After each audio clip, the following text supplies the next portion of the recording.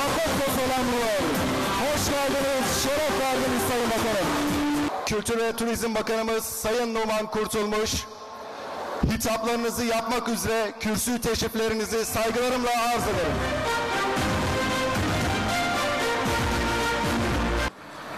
Filistin davasına, Kudüs davasına bağlılığınızı gösterdiğiniz için çok teşekkür ediyorum. Hepinizden Allah razı olsun. Hoş geldiniz, sefalar getirdiniz.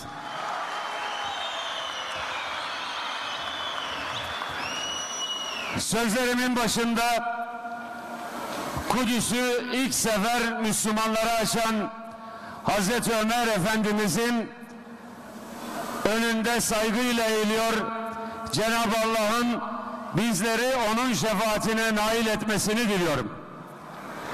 Yine Kudüs tarihinin en önemli isimlerinden birisi olan Selahaddin Eyyubi'nin Şark'ın büyük komutanı Selahaddin Eyyubi'nin aziz hatırası önünde saygıyla, hürmetle eğiliyorum.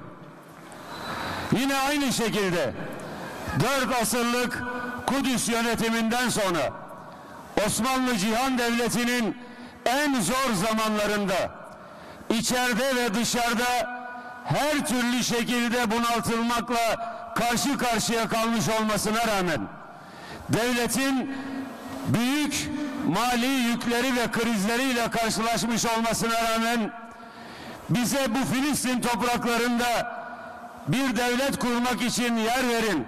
Bütün borçlarınızı silelim diyen Siyonistlerin lideri Theodor Herzl makamından kovan ve git oradan yakıl karşımdan diyen Sultan Abdülaziz Han'ın hürmetine onun ruhuna saygıyla eğiliyorum. Değerli kardeşlerim aynı şekilde son zamanlarda unutulmaya yüz tutmuş neredeyse İslam dünyasının siyasi liderlerinin Kudüs'ten, Kudüs davasından, Filistin davasından bahsetmeyeli yıllar geçmiş olmasına rağmen Amerika Birleşik Devletleri'nin Kudüs'ü başşehir olarak ilan etme girişiminin hemen arkasında tereddüt etmeden İslam İşbirliği Teşkilatı üyelerini İstanbul'da toplayan ve arkasında Birleşmiş Milletler'den Filistin'in başkent olması yönündeki Amerikan kararını yok hükmünde olacak şekilde reddedilmesine vesile olan Sayın Cumhurbaşkanımız Recep Tayyip Erdoğan'a milletimiz adına Filistin davası adına şükranlarımızı arz ediyorum.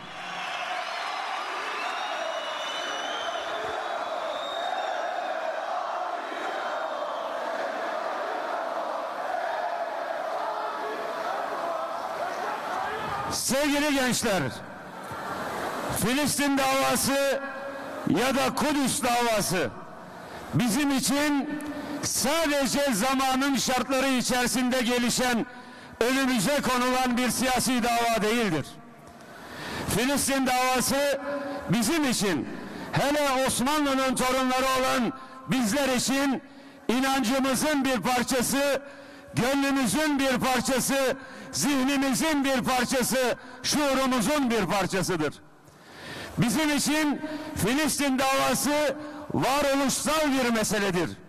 Filistin davasına kalben bağlı olan bir milletiz ve Allah'ın izniyle bu millet Filistin davasına olan bağlılığını kıyamete kadar gösterecek ve Filistin davasına kıyamete kadar sahip çıkacaktır.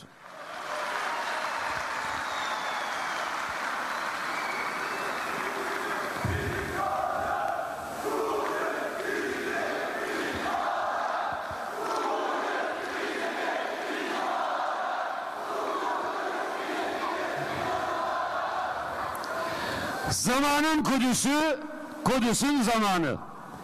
Kudüs ve zaman. Kudüs hiç değişmedi.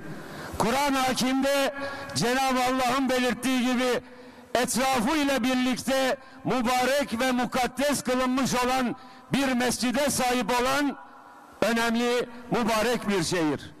Ancak Kudüs'le ilgili zaman değişti. Kudüs'te tarihin iki önemli, iki uçta önemli örnekleri var. Kudüs maalesef bazen kahrın, zulmün, gözyaşının, katliamların şehri oldu. Kudüs bazen baş baş üstünde, taş taş üstünde bırakılmayan bir şehir oldu. Bazen de Kudüs Müslümanların fethettiği dönemlerde barışın, adaletin, sevginin, kardeşin, kardeşliğin, birlikte barış içinde yaşamanın şehri oldu. Haçlılar işgal ettiğinde sokaklarından kan dereleri aktı. Kudüs'te Kudüs'ün ruhunu tanımayanların işgali sırasında tarihi eserler tahrip edildi. Nice kitaplar yakıldı, nice kitaplar tahrip edildi. Ama aynı zamanda Kudüs'te adaletin, hakkaniyetin hakim olduğu Kudüs'te öyle geldi ki, öyle zamanlar oldu ki ağlama duvarının önünde dua eden Yahudilerle Cuma namazından çıkan Müslümanlar yan yana birbirlerine zarar vermeden birlikte yaşadılar. Öyle oldu ki kilise çan sesleriyle Allahu Ekber sesleri bir arada dört asrı aşkın bir süre yaşadı. Ve ne yazık ki Osmanlı Cihan Devleti'nin emperyalistler tarafından bir şekilde çökertilip geriye gittiğimiz dönemlerde Kudüs'ün işgaliyle Kudüs'ün İngilizlerin kapısını açmasıyla birlikte Yahudi işgaline açılmasıyla birlikte yeniden kahırlar dönemi başladı. Kudüs'te şehrin giriş kapılarından birisinde hepinizin bildiği gibi La ilahe illallah İbrahim Halilullah yazıyor. O kadar hassas davrandılar ki bu şehirde yaşayan Museviler ve İseviler kendilerini yabancı hissetmesinler diye La ilahe illallah Muhammedur Resulullah yazmadılar. Çünkü Müslümanların, Yahudilerin ve Hristiyanların birlikte yaşadığı bir şehir olarak Kudüs, İslam egemenliği altında ancak çok kültürlü ve çok dinli bir şehir olarak örnek teşkil edebilirdi. Onun için La ilahe illallah İbrahim Halilullah yazdılar. Kudüs'ün bir zamanı böyleydi. Kudüs'ün şimdiki zamanı ya da tarihteki başka zamanlarını da biliyorsunuz.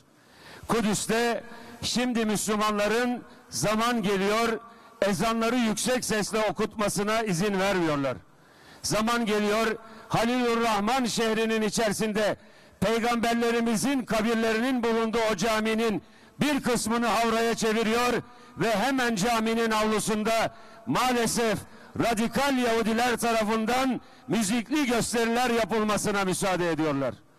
Onu da geçtik. Filistin davasını bugün ellerinin içerisinde bir kor ateş gibi taşıyan, yüreklerinde yılmaz bir iman parçası olarak taşıyan bir avuç Filistinli kardeşlerimize nice eziyetler, nice zulümler yapıyorlar. Gördünüz, ufacık Cüneyt kardeşimiz geldi Bakanlar Kurulu'nu, Sayın Cumhurbaşkanımızın başkanlık yaptığı Bakanlar Kurulu'nu da ziyaret etti.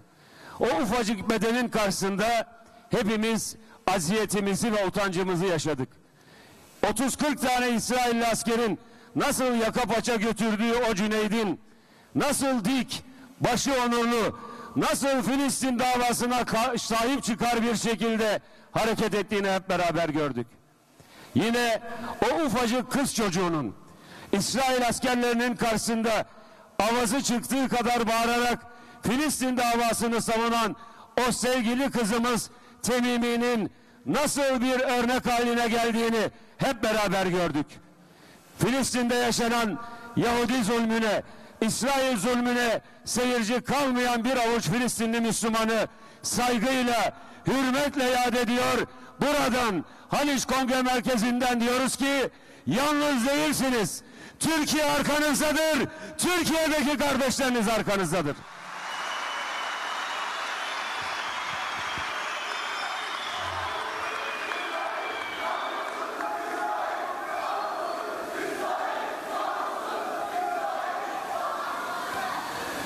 Biz bu vesileyle Kudüs'teki o Kudüs'ün bir zamanlar güzel zamanlarını burada anlatmaya devam edeceğiz.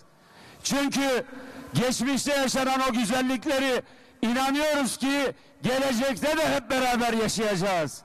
Filistinli insanlar, Filistinli Müslümanlar, Filistin'deki diğer gayrimüslim insanlar tarihte olduğu gibi barış içinde yan yana yaşama kabiliyetine kavuşacaklar.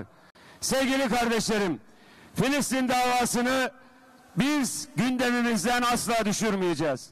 Onun için eğer müsaade ederseniz bu akşam hepimize bir tavsiyede bulunmak istiyorum. Bizim gençlik yıllarımızdan itibaren ben ve yaşıtım olan arkadaşlarımızın hemen hemen hepimizin evimizde bir tarafta Filistin davasına bağlılığımızı göstermek için ya Kubbetüs Sahra'nın ya da Mescid-i Aksa'nın bir resmi olur. Bugünden itibaren var mısınız? Hepimiz evlerimize, iş yerlerimize, ister özel iş yerleri olsun, ister resmi ofislerimiz olsun. Bunların hepsine ya hiç olmazsa Kubbetüs Sahra'nın, Mescid-i Aksa'nın ve Kudüs'ün bir resmini koyalım. Filistin davasına bağlılığımızı hiç olmazsa her gün hatırlayalım, her daim hatırlayalım.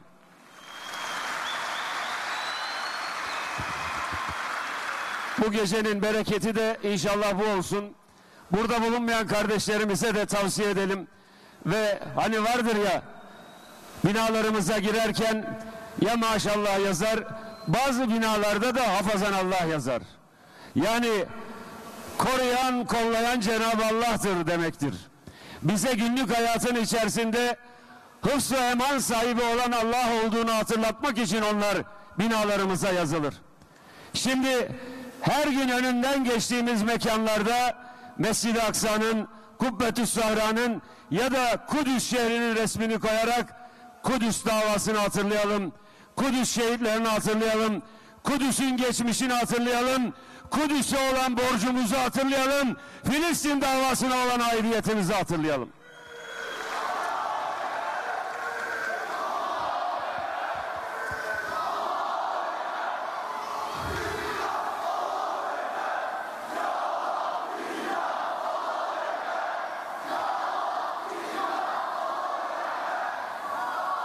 Biraz sonra çok güzel bir gösteri hep beraber izleyeceğiz.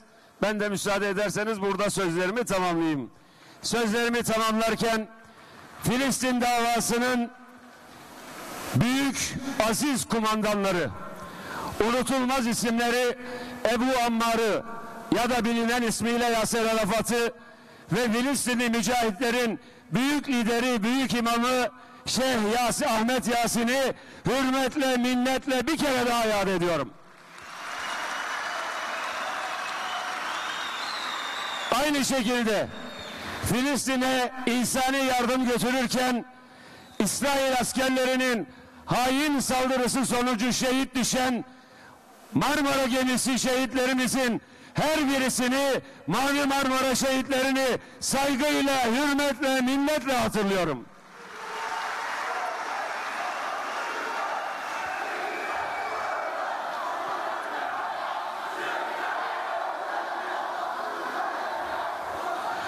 Sevgili gençler, oyun aynı oyun. Abdülhamit Han'ın karşısına çıkıp ondan Yahudi devleti için yer talep edenler ya da Osmanlı devletini diz çöktürmek için oyun oynayanlar yaklaşık bir asır evvel 120 sene evvel hangi oyunları yaptılarsa bugün de aynı oyunları yapıyorlar. Bugün de Osmanlı'nın devamı olan Türkiye'nin Türkiye Cumhuriyeti'nin diz çökmesi için her türlü saldırıyı, her türlü tertibi ortaya koyuyorlar. Dün Sultan Abdülhamit Han'ın karşısına bir şekilde çıkıp yoluna kes, yolunu kesmeye çalışanlar bugün Türkiye'nin lideri Recep Tayyip Erdoğan'ın önüne çıkıp onun yolunu kesmeye çalışıyorlar. Oyun aynı oyun. Dün bazı terör örgütleriyle yaptıkları oyunları bugün de DAEŞ'in eliyle PKK'nın, PYD'nin eliyle yapmaya devam ediyorlar. Bu oyunu bozacağız. Bu oyunu bozacağız. Bu oyunu oynayanlar bu oyunu oynadıkları terör örgütlerinin yakında diz çökmüş olduğunu görecekler, mahcup olacaklar ve Türkiye'ye karşı oyun oynanmayacağını çok açık bir şekilde göreceklerdir. Afrin'de mücadele eden bütün Mehmetçiklerimize gerçekten Cenab-ı Allah'ın görünmez ordularıyla teyit etmesini diliyorum. Allah ordumuzu, milletimizi muzaffer kılsın. Afrin hadisesinde şehit düşen bütün kardeşlerimize yürekten rahmet diliyor. Cenab-ı Allah'ı ve onları ve bütün şehitlerimizi cennette Serdar-ı Şüheda olan Hazreti Hamza Efendimizle Hazreti Hüseyin Efendimizle onları birlikte haşretmesini temenni ediyorum. Bizlere de Cenab-ı Allah hayatımızı şehit olarak bitirerek bu dünyadan şehit olarak göçmeyi nasip etmesin diye dua ediyorum. Sevgili gençler, hepiniz Filistin davasının taşıyıcı ana unsurlarısınız. Hayatınızda hiçbir zaman Kudüs'e, Filistin'e ve Filistin davasına olan bağlılığınızdan hiçbir şekilde vazgeçmeyin. Allah yolunuzu açık etsin. Allah adımlarınızı sağlam kılsın. Allah sözünüzü kuvvetli kılsın. Ayaklarınız sağlam olsun. Dostlarınız sadık olsun. Allah yardımcınız olsun.